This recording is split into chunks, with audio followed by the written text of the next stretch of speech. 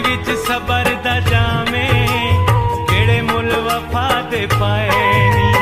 ਕਿਹੜੀ ਗਲਤੀ ਹੋਏ ਜ਼ਾਲਿਮ, ਕਿਉਂ ਦੂਰ ਡੇਰੇ